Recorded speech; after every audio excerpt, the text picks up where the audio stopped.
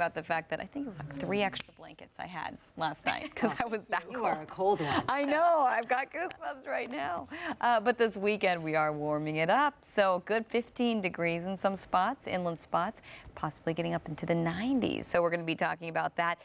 Plenty of fog in the forecast. Not as thick and not as dense, and it's not spanning as far inland as it did the last few nights but it's still there. In the morning hours, we're expecting it to mix out. And really, if we see anything at all, it should just be at the coast. Temperatures into the 50s and 60s were already dropping down to 59 in Beverly Hills, 59 in Encino as we take it over to Arcadia, 60 degrees for you. Covina, you're also at 60 degrees. Montebello at 59. Checking in with parts of the IE, you're going to see temperatures into the 60s for the most part. And finally, getting down to Orange County, we're into the 60s as well. 61 in Fullerton.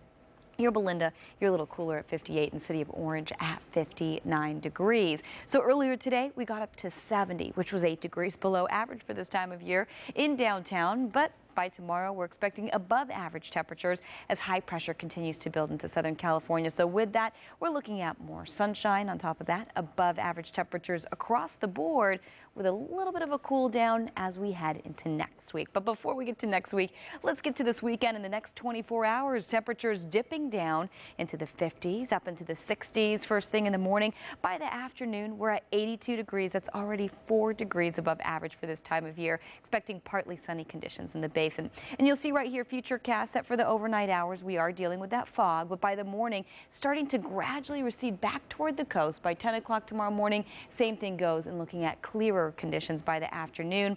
Your five-day forecast for the coast showing you that same pattern. Mid-70s, in fact, more sunshine by Sunday afternoon. Low cloud cover and cooler, in fact, socked in by Tuesday, warming up by the time we get to Wednesday. We're going to show you what the basin looks like and the valleys coming up in the 10 o'clock hour, so stick around. Back to you.